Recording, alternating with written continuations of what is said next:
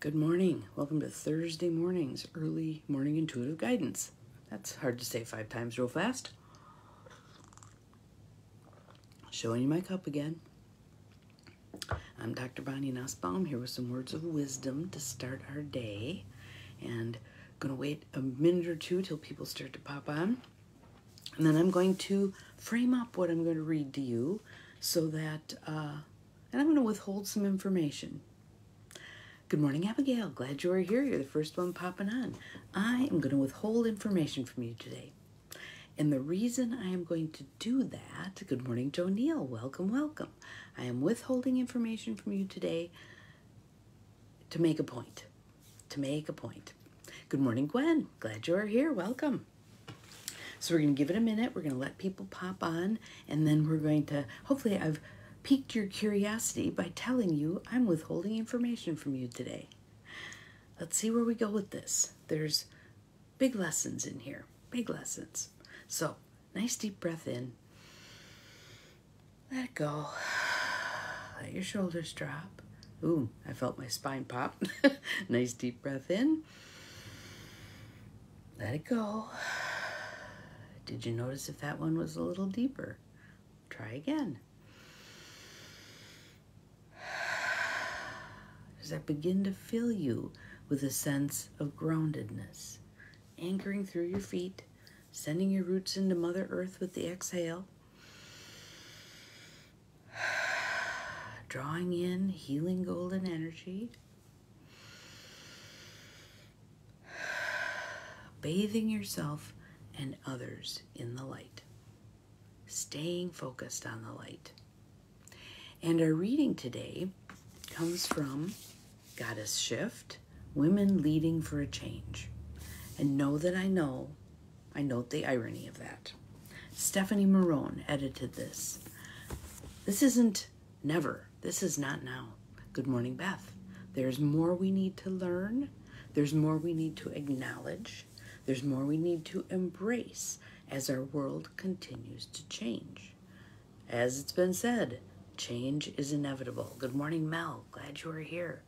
And our group of practical rebels, I'm going to suggest the same as the the reading I'm going to read for you today.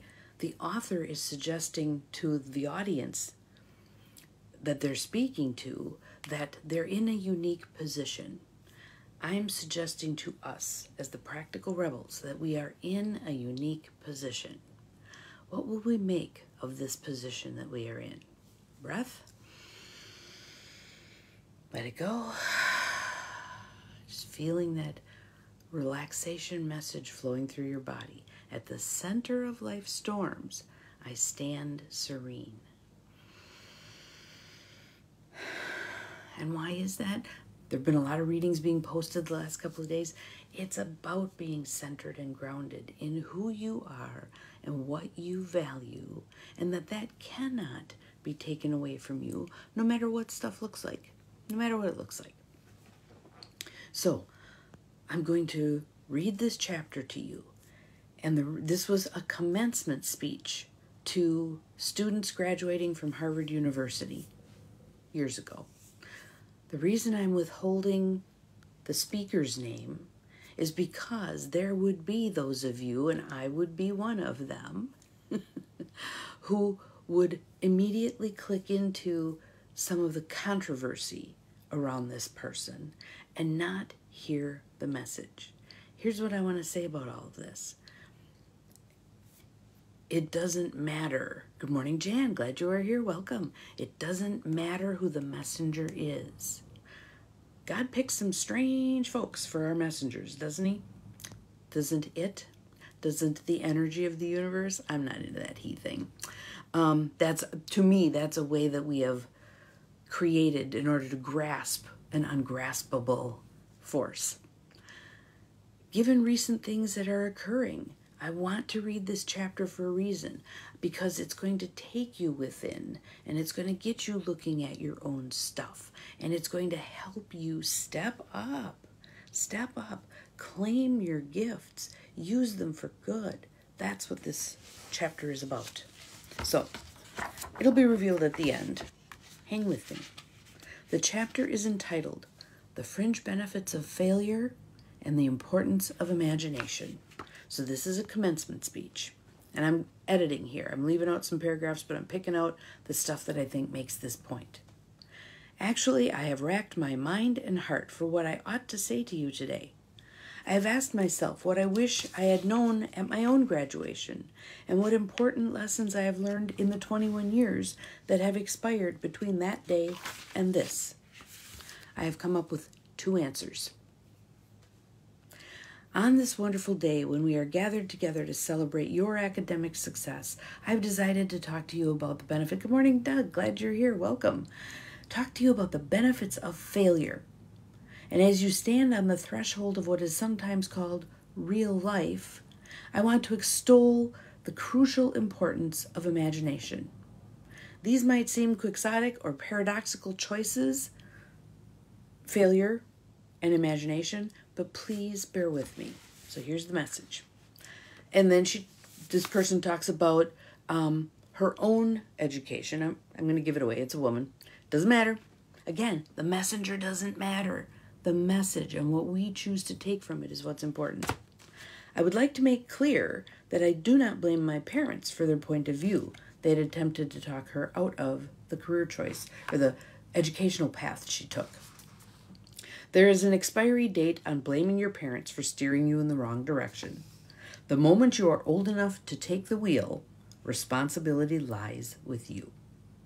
What is more, I cannot criticize my parents for hoping that I would never experience poverty. They had been poor themselves, and I have since been poor, and I quite agree with them that it is not an ennobling experience. Poverty entails fear and stress, and sometimes depression. It means a thousand petty humiliations and hardships. Climbing out of poverty by your own efforts, that is something indeed something on which to pride yourself, but poverty itself is romanticized only by fools. What I feared most for myself at your age was not poverty, but failure. I am not dull enough to suppose that because you are young, gifted, and well educated, that you have never known hardship or heartbreak. Talent and intelligence never yet inoculated anyone against the caprice of the fates and I do not for a moment suppose that everyone here has enjoyed an existence of unruffled privilege and contentment.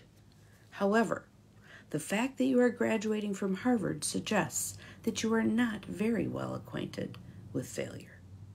You might be driven by a fear of failure quite as much as a desire for success. Indeed, your conception of failure may not be too far from the average person's idea of success. So high have you already flown academically. Ultimately, we all have to decide for ourselves what constitutes failure. But the world is quite eager to give you a set of criteria if you let it. So I think it is fair to say that by any conventional measure, a mere seven years after my graduation day, I had failed on an epic scale. An exceptionally short lived marriage had imploded, and I was jobless, a lone parent, and poor as it is possible to be without being homeless. The fears my parents had for me and that I had had for myself had both come to pass, and by every usual standard, I was the biggest failure I knew. Now, I'm not going to stand here and tell you that failure is fun. That period of my life was a dark one, and I had no idea that there was going to be what the press has since res- represented as a kind of fairy tale resolution. I had no idea how far the tunnel extended, and for a long time, any light at the end of it was a hope rather than a reality. Is that ringing a bell for anybody? How many of you are right now trying to scramble for hope? So, why do I talk about the benefits of failure? Simply because failure meant a stripping away of the inessential. I stopped pretending to myself that I was anything other than what I was, and I began to direct all my energy into finishing the only work that mattered to me. So, right here is a perfect opportunity for all of us to look at what really matters. What really matters, and what am I willing to do with what really matters? Had I really succeeded at anything else, I might never have found the determination to succeed in the one arena I truly believed I belonged. I was set free because my greatest fear had already been realized. And I was still alive, and I still had a daughter I adored, and I had an old typewriter and a big idea. And so rock bottom became the solid foundation on which I rebuilt my life. You may never fail on the scale I did, but some failure in life is inevitable. It is impossible to live without failing at something, unless you live so cautiously that you might as well have not lived at all, in which case you fail by default. Failure gave me an inner security that I had never attained by passing examinations. Failure taught me things about myself that I could have learned no other way. I discovered that I had a strong will and more discipline than I had suspected. I also found that I had friends whose value was truly above rubies. The knowledge that you have emerged wiser and stronger from setbacks means that you are ever after secure in your ability to survive. You will never know yourself or the strength of your relationships until both have been tested by adversity. Many of us feel we're being tested right now. Such knowledge is a true gift for all that it is painfully won, and it has been worth more to me than any qualification I ever earned. Given a time machine or a time turner, I would tell my 21 year old self that personal happiness lies in knowing that life is not a checklist of acquisition or achievement. Your qualifications, your curriculum vitae, vita are not your life, though you will meet many people of my age and older who confuse the two. Life is difficult and complicated and beyond anyone's total control, and the humility to know that will enable you to survive its vicissitudes. Vicissituding away, right? You might think that I chose my second theme, the importance of imagination. Good morning, Cheryl. Welcome. Because of the part it played in rebuilding my life, but that's not wholly so. Though I will defend the value of bedtime stories to my last gasp, I have learned the value imagination to value imagination in a much broader sense. Imagination is not only the uniquely human capacity to envision that which is not yet, and therefore the font of all invention and innovation. In its arguably most transformative and revelatory capacity, imagination is the power that enables us to empathize with humans whose experiences we have never shared. So then this person talks about her early time working in Amnesty, Amnesty International. Every day of my working week in my early 20s, I was reminded how incredibly fortunate I was to live in a country with a democratically elected government where legal representation and a public trial were the rights of everyone. Every day I saw more evidence of the evils humankind will inflict on their fellow humans to gain or maintain power. I began to have nightmares, literal nightmares, about some of the things I saw, heard, and read. And yet, good morning, Barb. I also learned more about human kindness at Amnesty International than I had ever known before. Amnesty mo- mobilizes thousands of people who have never been tortured or imprisoned for their beliefs to act on behalf of those who have. The power of human empathy leading to collective action saves lives and frees prisoners. Ordinary people whose personal well being and security are assured join together in huge numbers to save people they do not know and will never meet. My small participation in that process was one of the most humbling and inspiring experiences of my life. Unlike any other creature on this planet, humans can learn and understand without having experienced. They can think themselves into other people's minds, imagine themselves into other people's places. One might use such an ability to manipulate or control, or just as much to understand and sympathize, Again, it is in our hands to decide how we use that ability. And many prefer not to exercise their imagination at all. They choose to remain comfortably within the bounds of their own experience, never troubling to wonder how it might feel to have been born other than they are. They can refuse to hear screams or to peer inside cages. They can close their minds and hearts to any suffering that does not touch them personally. They can refuse to know. I might be tempted to envy people who can live that way, except that I do not think they have fewer nightmares than I do. Choosing to live in narrow spaces can lead to a form of mental agoraphobia, and that brings its own terrors. I think the willfully unimaginative see more monsters. They are often more afraid. Totally fits for what's going on right now. What is more, those who choose not to empathize may enable real monsters. For without ever committing an act of outright evil themselves, we collude with it through our own apathy. One of the many things that I learned at the end of the classics corridor, that was the path she took for education, which I ventured at the age of 18 in search of something I could not yet define, was this, written by the Greek author Plutarch. What we achieve inwardly will change outer reality. If you grab nothing else out of what I'm reading today, please hang on to that.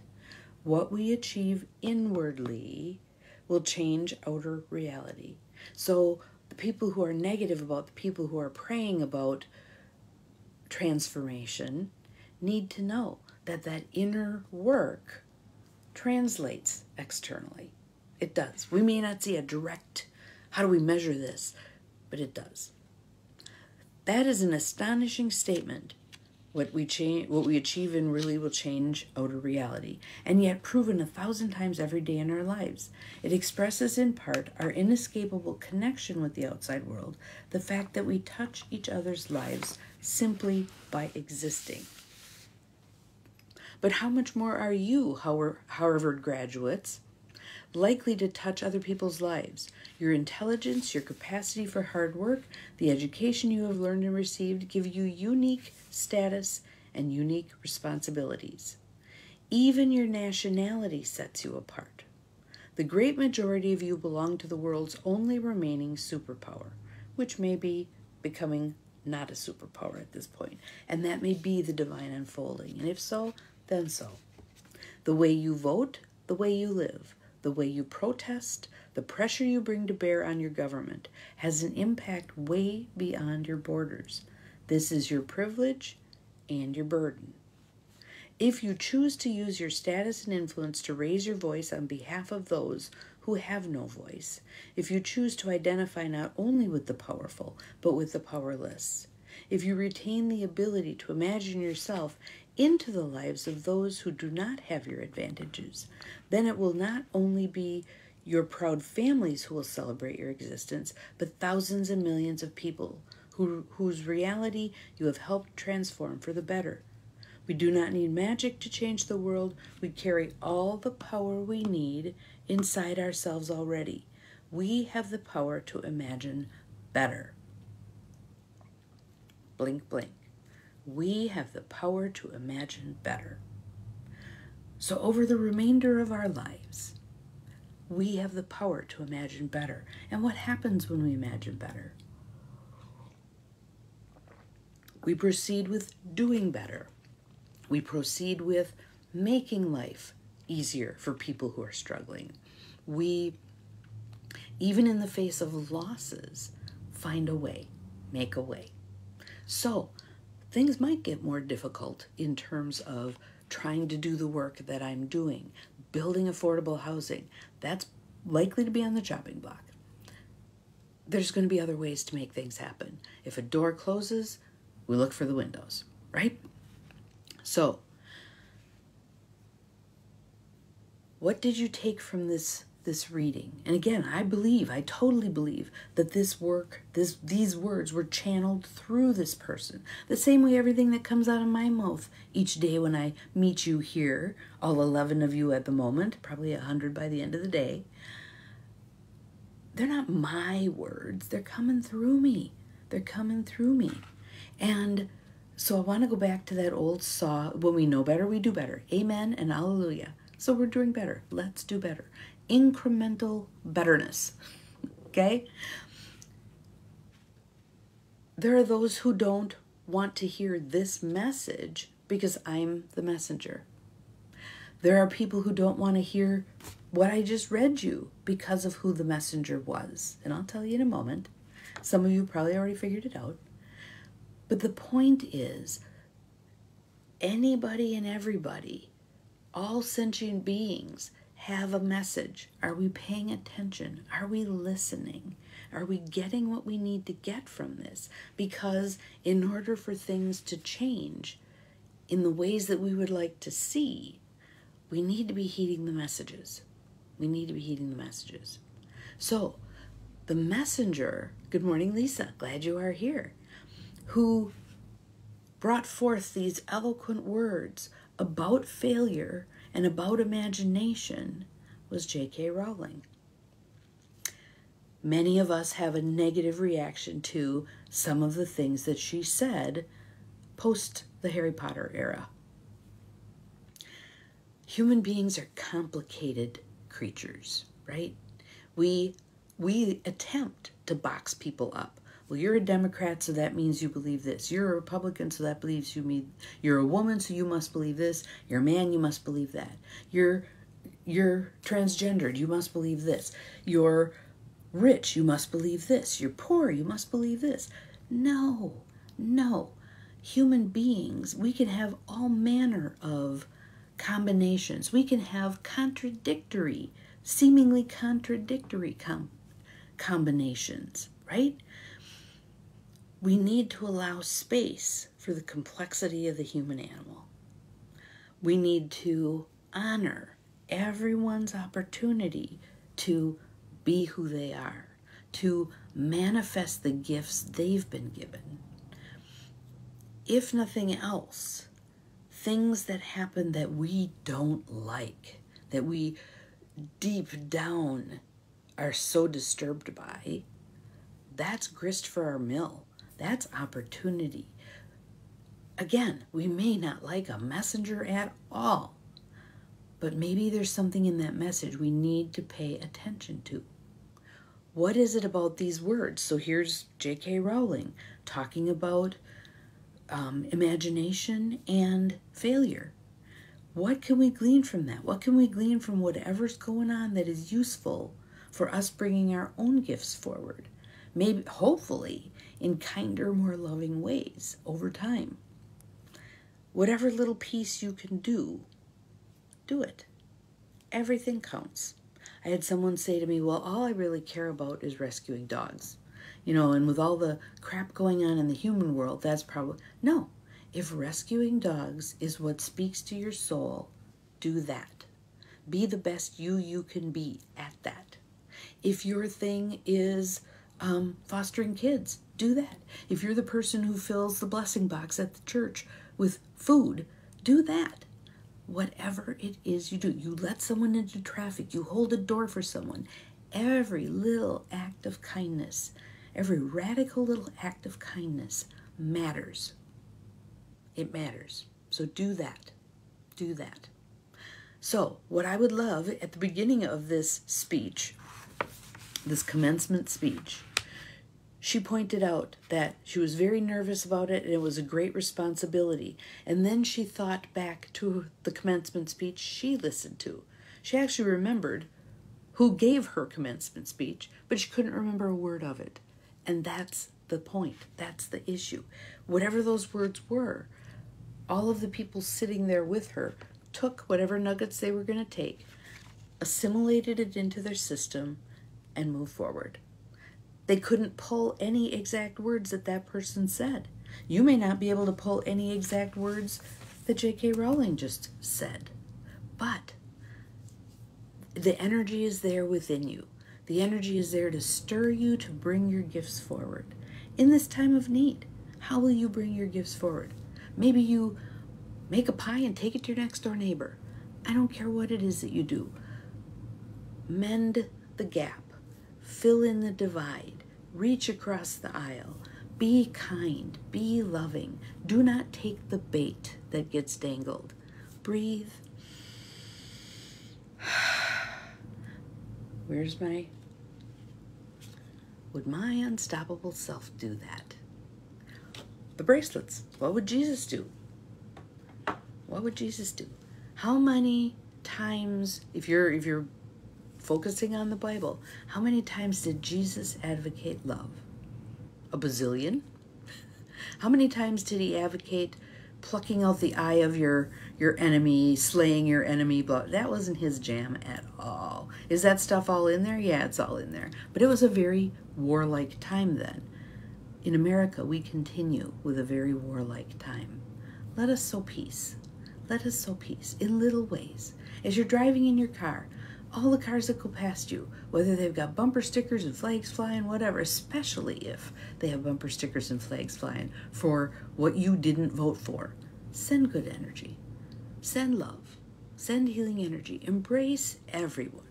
Everyone. Even the person that you consider to be the most reprehensible definition of a human being on earth, whoever that is for you, send them love. Send them good energy. Send them kindness. We can rise above our petty differences. We can rise above whatever fallout there's going to be. We can step into a much higher vibration. I choose that for myself. I hope you choose that for yourself. I bless you on your way. Have an awesome day. Go back and listen a couple of times. See what sinks in. Be the change you want to see in the world. Bye bye.